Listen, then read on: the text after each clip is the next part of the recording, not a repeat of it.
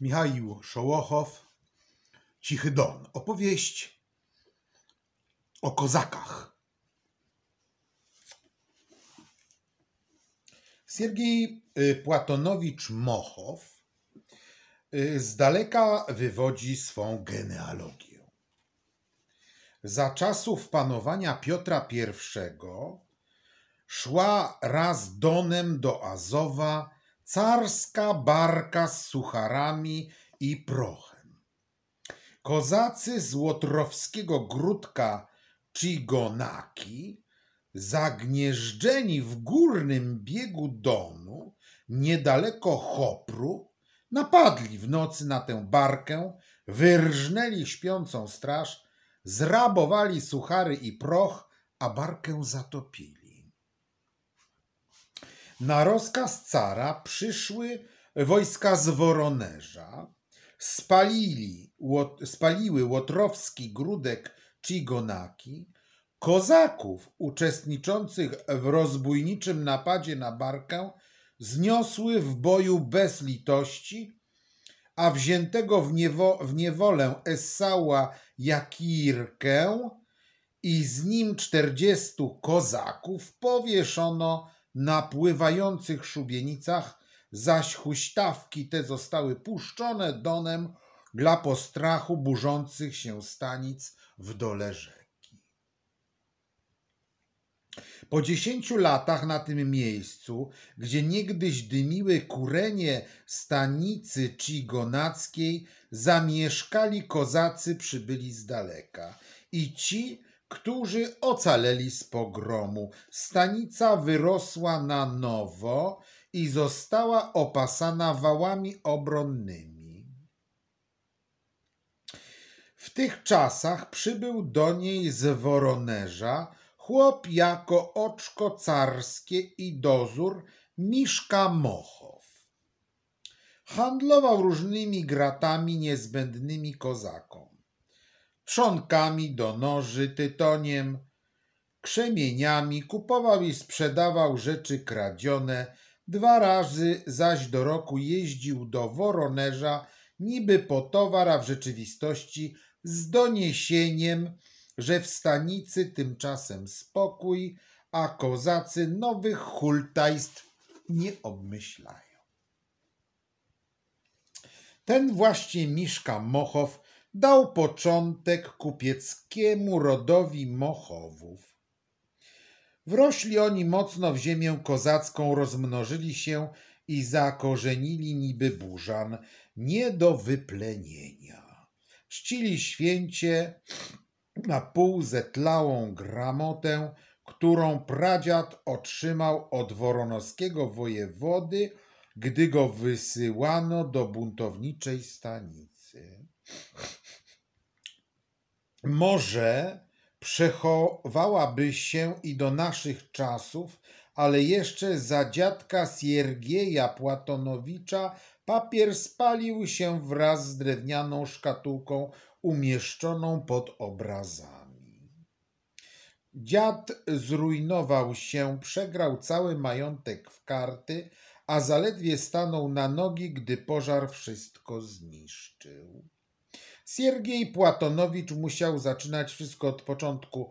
Pochowawszy sparaliżowanego ojca, zaczął interes z paru groszami. Skupował w hutorach Szczecinę i Pierze. Przez pięć lat biedował, cyganił, dusił kozaków z okolicznych hutorów o każdą kopiejkę, a potem jakoś nagle z Sierioszki Szybaja wyrósł Siergiej Płatonowicz.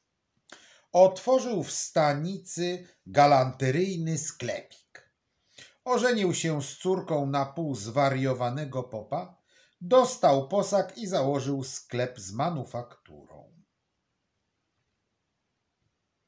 Siergiej Płatonowicz w samą porę rozpoczął ten interes.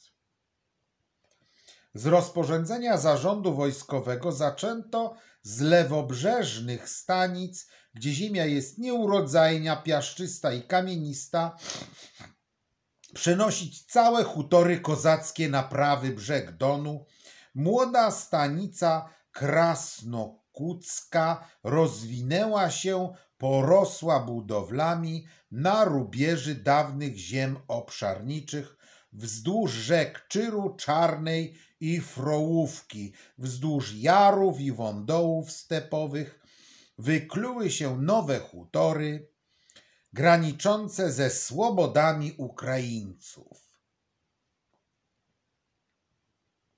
Dawniej po towar jeżdżono 50 wiorst i dalej. A tu macie sklep ze świeżymi sosnowymi półkami, dobrze wypełnionymi barwnym, wonnym towarem. Siergiej Płatonowicz rozwinął swój interes szeroko. Niby trzyrzędową harmonię, oprócz tkanin sprzedawał wszystko, czego wymagała prosta wiejska gospodarka. Artykuły skórzane, sól, naftę, galanterię. W ostatnich czasach dostarczał nawet maszyn rolniczych, siewniki rzędowe, pługi, sortownice zaksajskiej fabryki stały w porządku obok sklepu z zielonymi okiennicami, przewiewnego nawet latem. Trudno liczyć pieniądze y, w cudzym trzosie, ale ze wszystkiego widać było, że zaradny Płatonowicz osiąga z handlu zyski wcale spore. Po trzech latach jął handlować zbożem a w rok po śmierci pierwszej żony zaczął budować młyn parowy. w smagłej piąstce pokrytej rzadkim czarnym połyskującym włosiem ścisnął mocno hutor tatarski i okoliczne.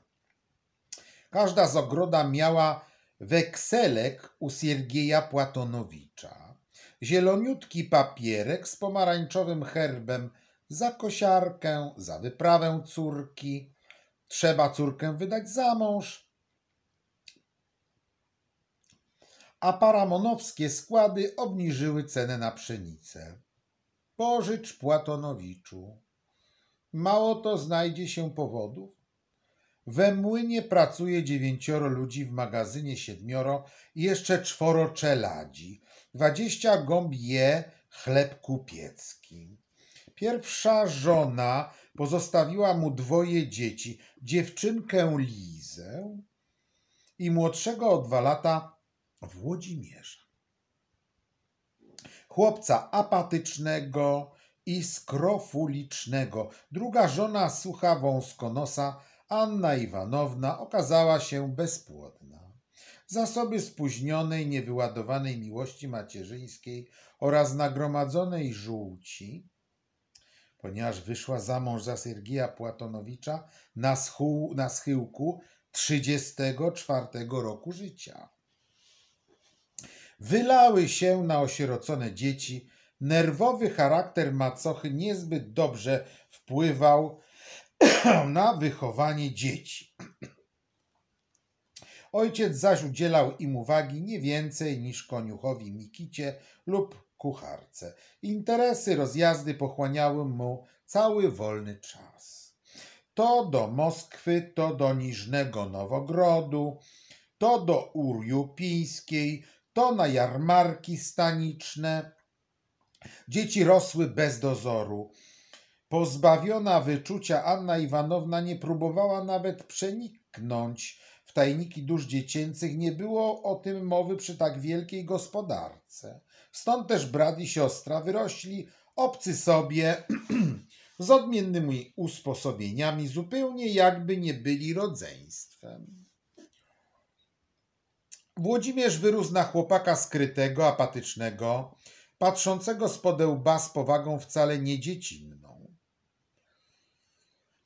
Liza, przebywająca w towarzystwie kucharki i pokojówki, rozpuszczonej baby, która nie z jednego pieca chleb jadła, wcześniej zajrzała za podszewkę życia. Kobiety budziły w niej niezdrową ciekawość, kanciasty, nieśmiały podlotek, pozostawiany sam sobie, rósł niby krzak wilczej jagody w lesie. Płynęły nieśpiesznie lata, co stare starzało się, Młoda zieleń rosła. Kiedyś wieczorem przy herbacie Siergiej Płatonowicz zdziwił się niezmiernie spojrzawszy na córkę.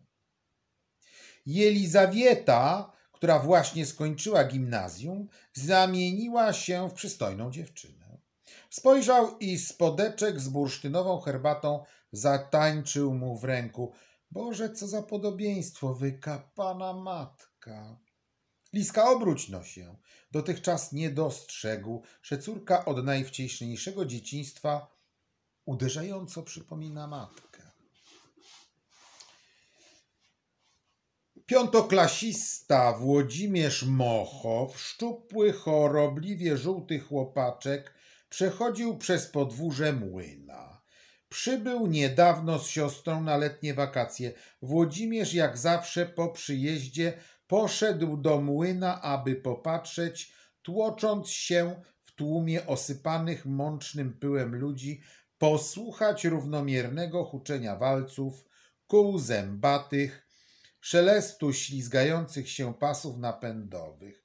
Pochlebiały mu pełne uszanowania szepty kozaków przywożących zboże do przemiału. Syn właściciela.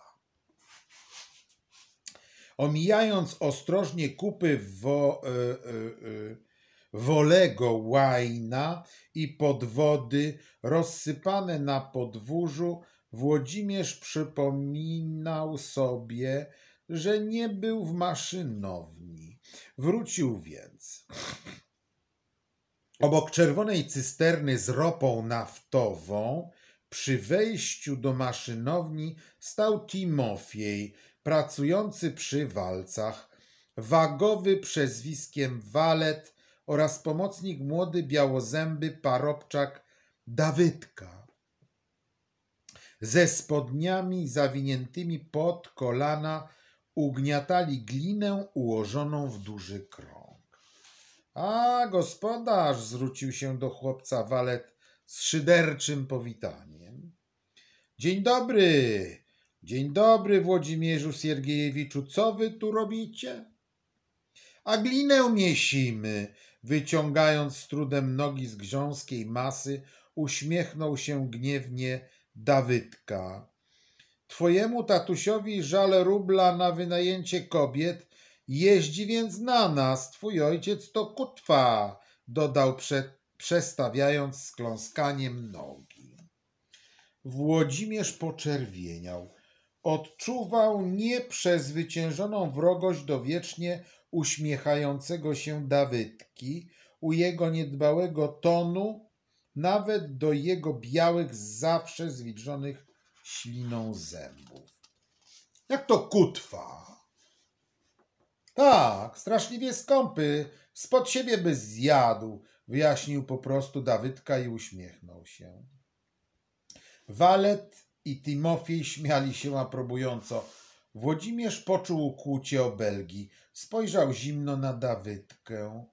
No co, jesteś więc niezadowolony? Spróbuj no wleść i miesić, to zobaczysz. Głupi chyba byłby z tego zadowolony. Trzeba by tu postawić twojego tatusia, od razu straciłby brzuszek. Dawydka chodził ciężko w koło, kołysząc się, zadzierając wysoko nogi, uśmiechając się wesoło i bez złości. Włodzimierz tasował myśli, delektując się przyszłą satysfakcją. Znalazła się odpowiedź. Dobrze powiedział powoli.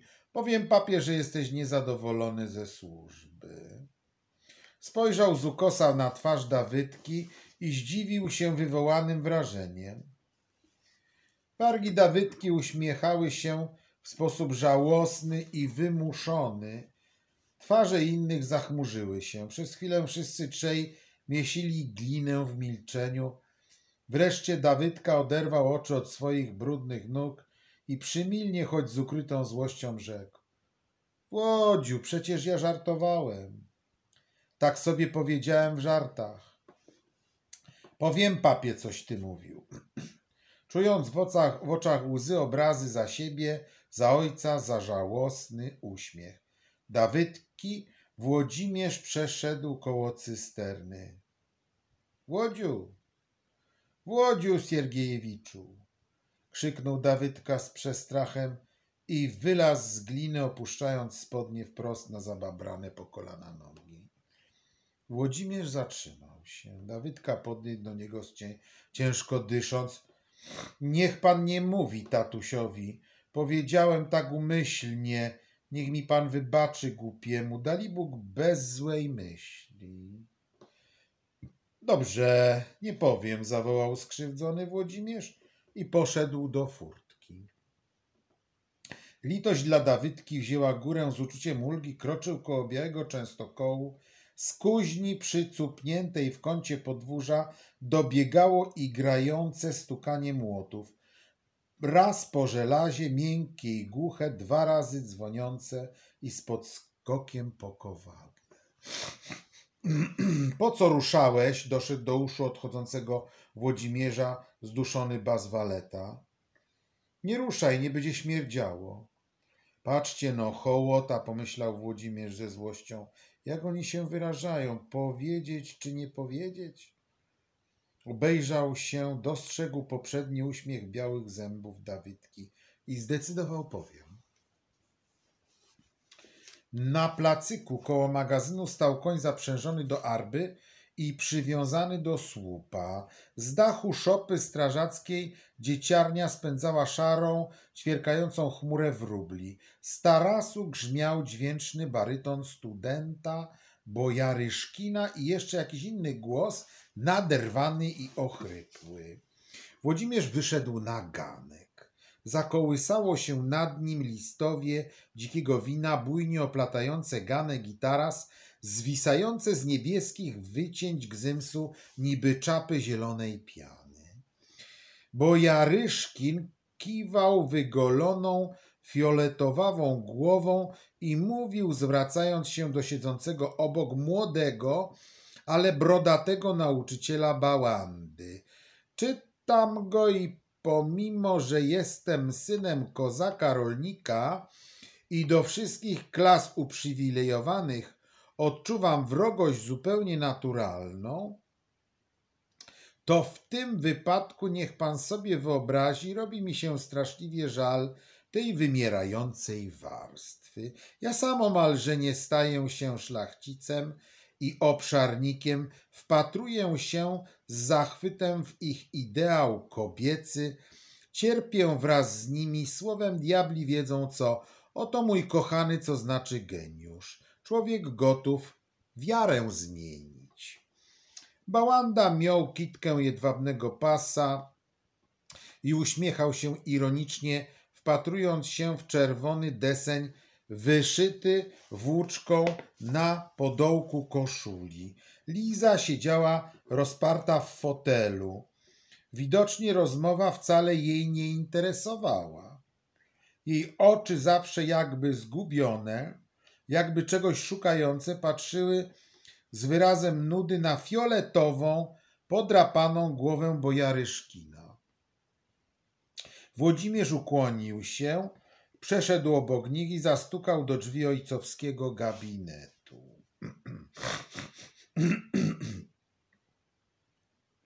Siergiej Płatonowicz siedział na chłodnej, skórzanej kozetce, przeglądając czerwcowy zeszyt ruskiego bogactwa. Na podłodze leżał pożółkły nóż kościany. Czego chcesz? Włodzimierz wsunął głowę w ramiona i nerwowym ruchem poprawił na sobie koszulę. Wracałem z młyna, zaczął niezdecydowany, ale przypomniał sobie oślepiający uśmieszek Dawydki i patrząc na krągły brzuch ojca opięty czesuczową kamizelką, skończył już bardziej stanowczo. Słyszałem, jak Dawydka mówił. Siergiej Płatonowicz wysłuchał uważnie i rzekł. Zwolnijmy go, idź sobie. I stękając schylił się po nóż. Wieczorami u Siergija Płatonowicza zbierała się inteligencja hutoru. Bo Jaryszkin, student moskiewskiej szkoły technicznej, szczupły, pożerany przez olbrzymią ambicję i suchoty. Nauczyciel Bałanda, y, żyjąca z nim nauczycielka Marfa Gierasimowna. Okrągła dziewczyna, niestarzejąca się, z halką zawsze nieprzyzwoicie wyglądającą spod spódnicy, poczmistrz, spleśniały dziwak, kawaler, zalatujący zapachem laku i tanich perfum. Niekiedy przyjeżdżał z majątku bawiący u ojca właściciela ziemskiego i szlachcica młody sotnik Eugeniusz Listnicki. Wieczorami pito herbatę na tarasie, prowadzono błahe rozmowy, a gdy słabe nici rozmowy rwały się wówczas ktoś nakręcał drogi inkrustowany gramofon gospodarza. Niekiedy przy wielkim święcie Siergiej Płatonowicz lubił się postawić, spraszał gości i częstował drogimi winami. Świeżym jesiotrowym kawiorem, sprowadzanym specjalnie z Batajska, doskonałymi zakąskami, poza tym żył oszczędnie. Jedyną rzeczą, której sobie nie odmawiał, były książki. Siergiej Płatonowicz lubił czytać i wszystkiego dociekać swymi chwytliwymi, swym chwytliwym niby powój umysłem. Jego wspólnik, Jemelian Konstantynowicz Atepin, blondyn z ostrą brudką i zapadniętymi szczelinkami oczu, zachodził bardzo rzadko. Ożenił się z byłą zakonnicą ust niedźwiedzieckiego klasztoru, spłodził z nią w ciągu piętnastu lat pożycia małżeńskiego ośmioro dzieci i przeważnie przesiadywał w domu. Ja, Jemielian Konstantynowicz był kiedyś pułkowym pisarzem. Wyszedłszy na ludzi, ciągnął za sobą zatęchłą atmosferę schlebiania i uniżoności, którą też wprowadził do swej rodziny. Dzieci w jego obecności chodziły na palcach, mówiły szeptem. Rano po myciu twarzy, rano po myciu tworzyły szereg w jadalni pod czarną wiszącą trumną olbrzymiego zegara ściennego. Matka stała z tyłu i zaledwie suchy kaszelek ojca dobiegł z sypialni, zaczynały fałszywie i e, różnymi głosami Panie zbaw lud swój i Ojcze nasz. Jemelian Konstantyno, Konstantynowicz przez ten czas ubierał się, wchodził na zakończenie modlitwy, mrużąc szczelinki kapuścianych oczu i wyciągał niby archierej gołą mięsistą rękę. Dzieci podchodziły kolejno i całowały ją. Jemielian Konstantynowicz całował żonę w policzek i mówił niewyraźnie, wymawiając czy, ży i szy.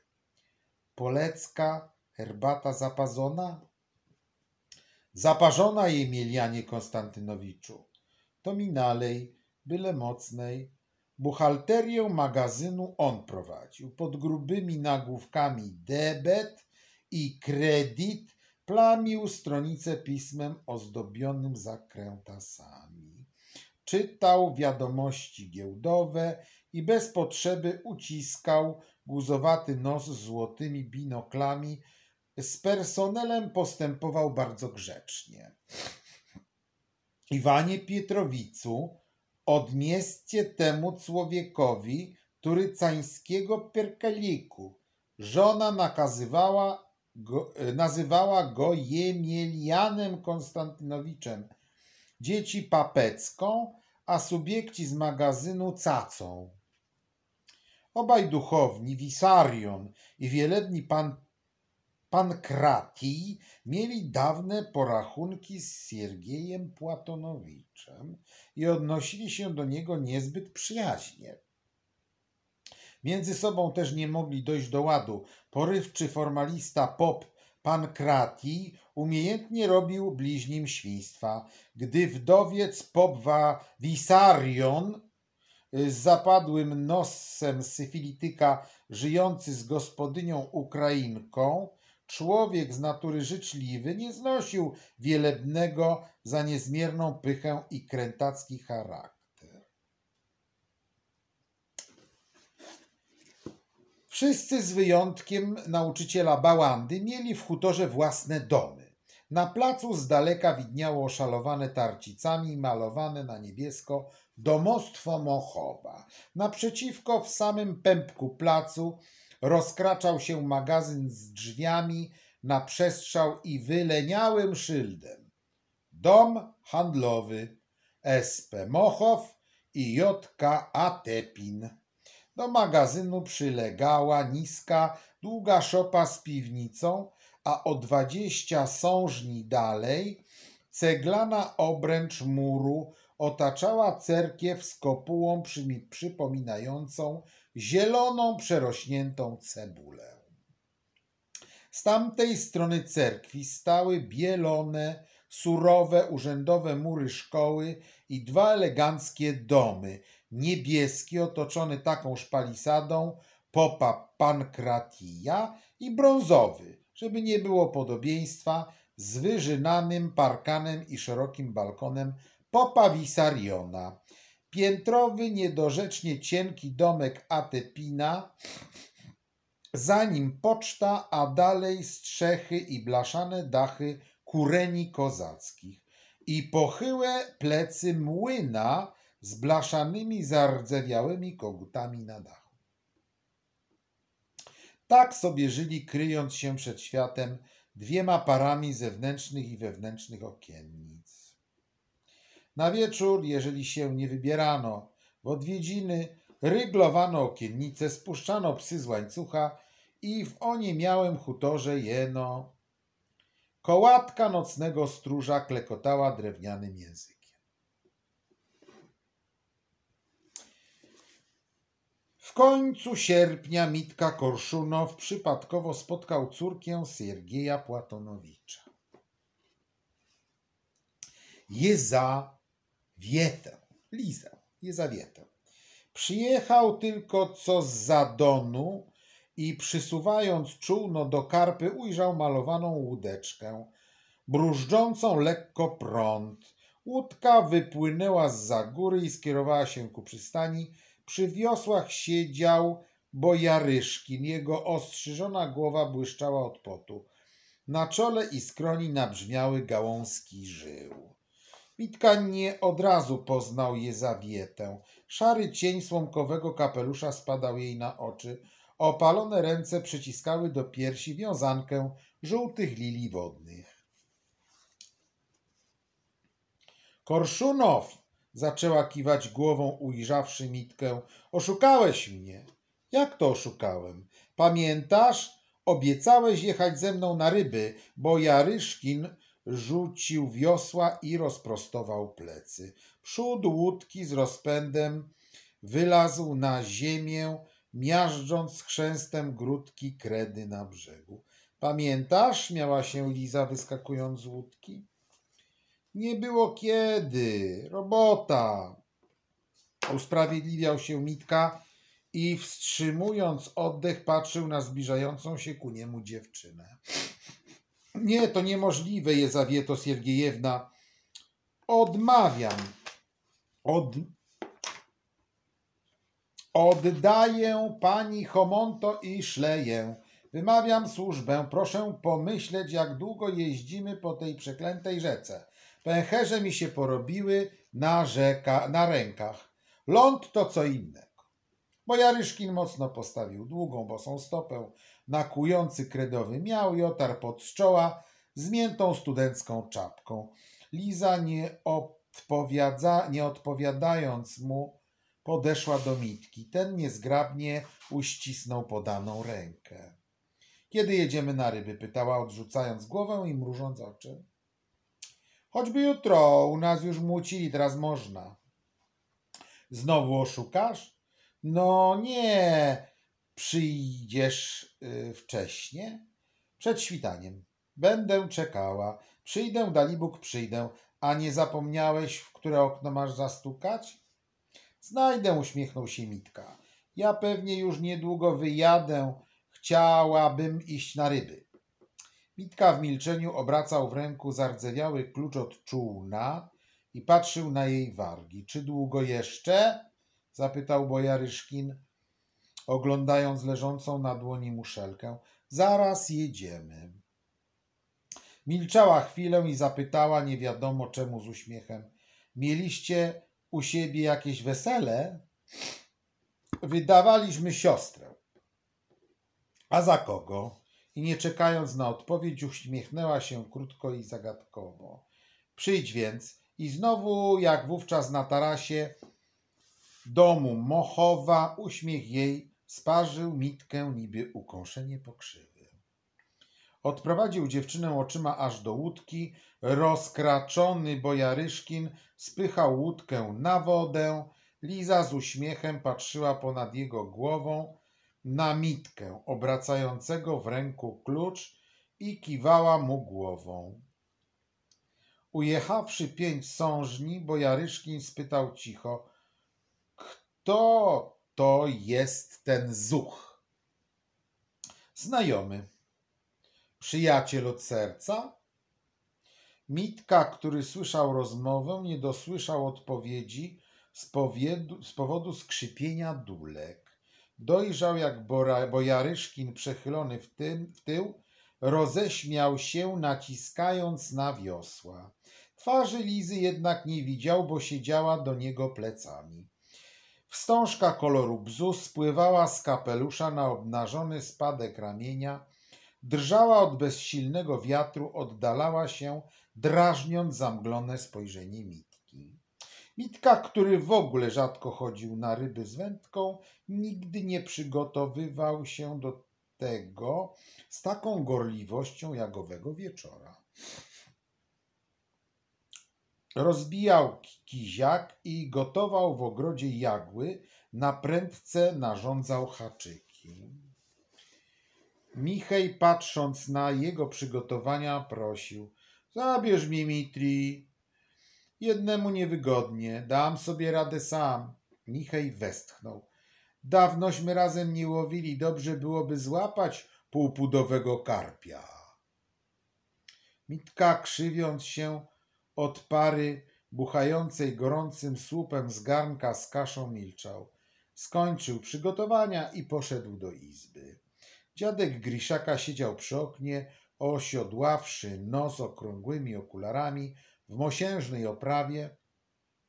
Czytał Ewangelię. Dziadku, zawołał Mitka, oparty ramieniem o górną belkę okna. Dziadek rzucił oczyma z ponad okularów. He? Dziadku, zbudź mnie po pierwszych kurach. A gdzież to tak rano? Na rybki. Dziadek, który, który lubił ryby, sprzeciwiał się dla pozoru. Ojciec powiadał, trzeba jutro mucić konopie. Będziesz mi tu zbijał bąki, widzicie go rybaka. Mitka usunął się spod belki i rzekł przebiegle. Mnie ta wszystko jedno, chciałem dziadka uraczyć rybą, ale kiedy konopie, to już chyba nie pójdę.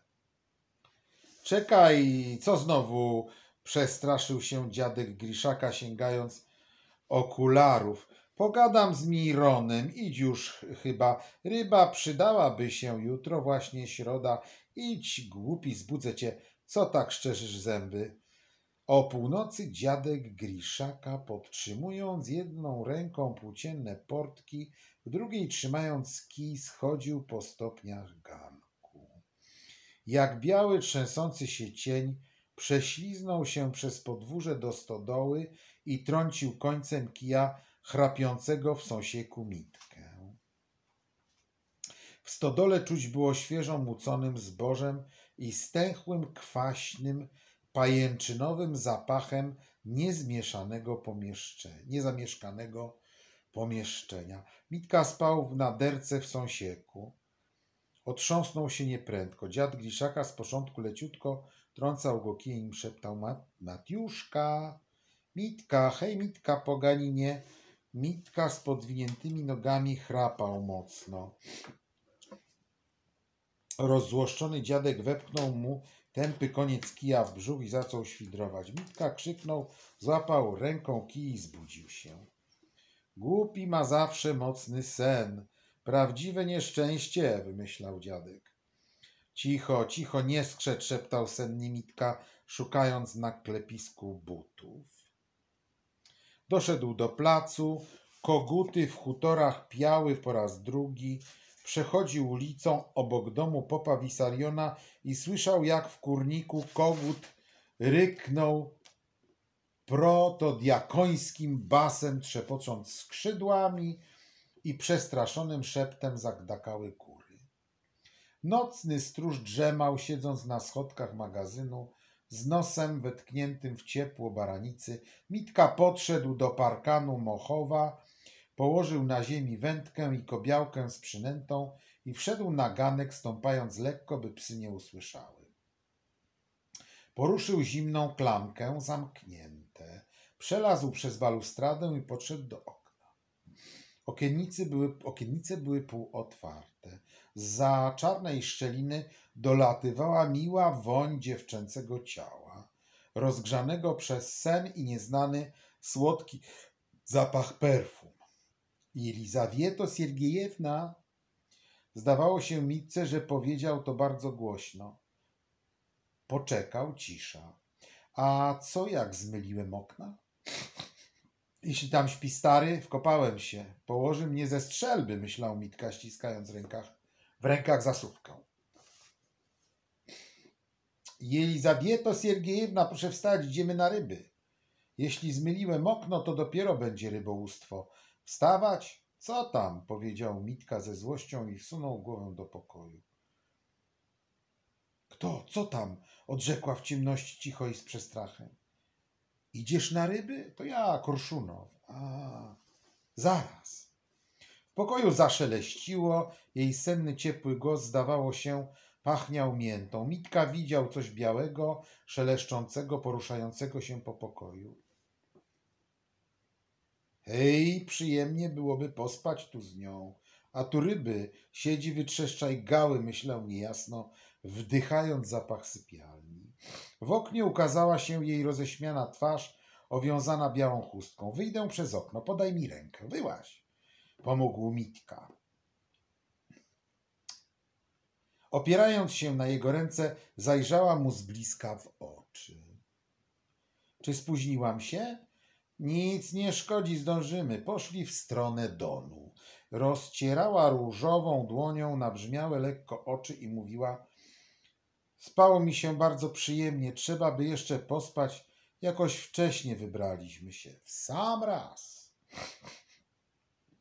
Zeszli do donu opłotkami, w nocy woda przybrała i czółno wczoraj pozostawione na suchym gruncie dziś kołysało się otoczone wodą. Trzeba zdjąć trzewiki, westchnęła Liza, mierząc oczyma odległość do czółna. Przeniosę cię, zaproponował Mitka. To niewygodnie, lepiej zdejmę trzewiki. Tak będzie wygodniej. Nie trzeba, utknęła zamieszana. Mitka lewą ręką objął jej nogi powyżej kolan, uniósł ją lekko i poczłapał do czółna.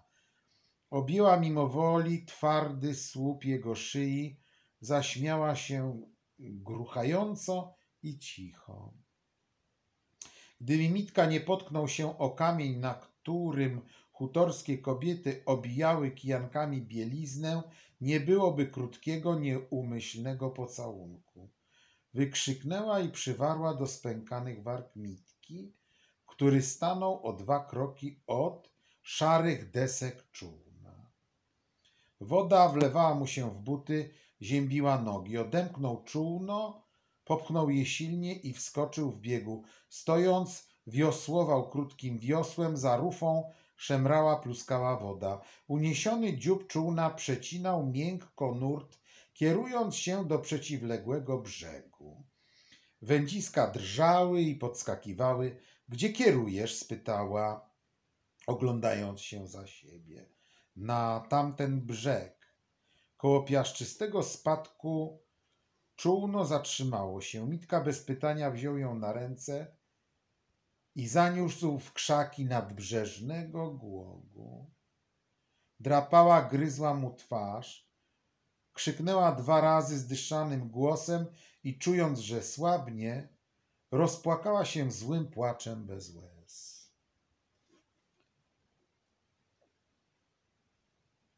Wracali koło dziewiątej. Żółtoruda mgła otulała niebo, wiatr tańczył po donie, szarpiąc grzywy fal. Czółno tańczyło, skakało przez poprzeczne fale, spienione lodowate bryzgi wzburzonej wody zalewały wyssaną przez bladość twarzy Elizawiety, spływały i zwisały na rzęsach, na kosmyku włosów wysuwającym się spod chustki. Mrużyła zmęczone, opustoszałe oczy, oczy łamiąc w palcach łodyżkę kwiatka, który wpadł do czółna. Mitka wiosłował, nie patrząc na nią. Pod nogami leżał niewielki karp i leszcz z pyskiem zastygłym w śmiertelnym skurczu i wyłupiastym w pomarańczowej obwódce okiem. W twarzy Mitki błąkało się poczucie winy. Zadowolenie krzyżowało się z obawą. Zawiozę cię do przystani Siemionowa, będziesz miała stamtąd bliżej, rzekł, zwracając czółno z prądem. Dobrze zgodziła się szeptem. Brzeg był pusty, płoty ogrodów nad brzegiem, przypruszone kredowym kurzem, opalone gorącym wiatrem, prażyły się w znoju, nasycając powietrze zapachem przypalonego chrustu. Dojrzałe, ciężkie, oskubane przez wróble kapelusze słoneczników pochylały się ku ziemi, gubiąc tłuste pestki. Błonie błyskało szmaragdem młodej trawy. W dali brykały źrebięta, a gorący południowy wiatr niósł do donu przeciągły śmiech dzwonków zawieszonych na szyjach źrebięcych. Mitka podniósł ryby i podał je wychodzącej z czółna Jelizawiecie. Weź połów, masz. Z przestrachem wionęła rzęsami. Yy, wzięła. No, yy, ja idę. No cóż, poszła, trzymając w odchylonej ręce nanizane na patyk wierzbowy ryby, żałosna, straciwszy w głogu niedawną pewność siebie i wesoła.